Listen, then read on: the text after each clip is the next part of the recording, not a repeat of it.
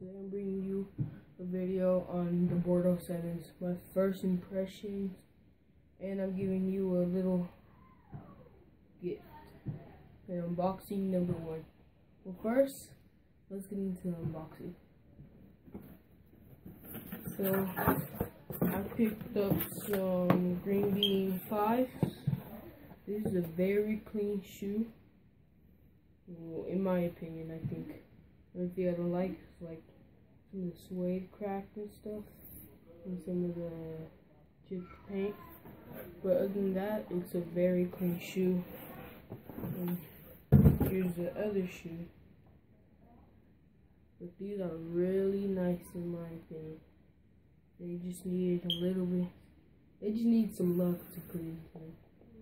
But other than that, that's the only thing I don't like about these. Mm, A 360 look.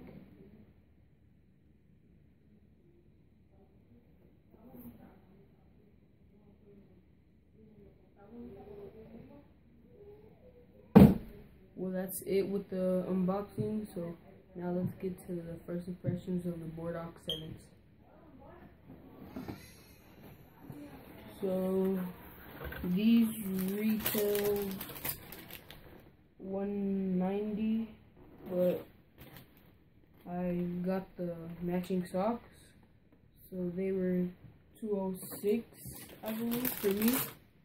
But yeah that's the price range for men's.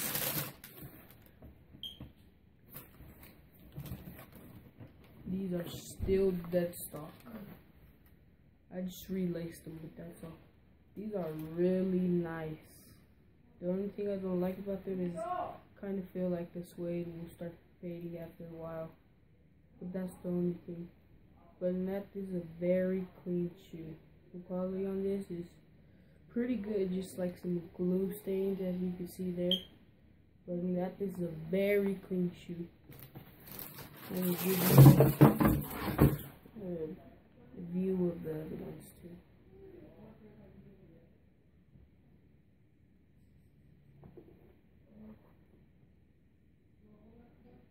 This is how I recommend people to lace them.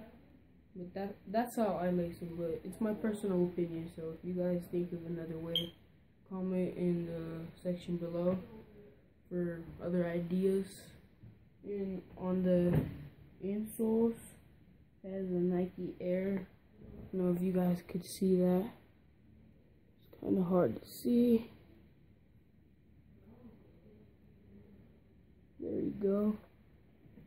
But yeah, I really like these. People think, people actually slept on these a lot.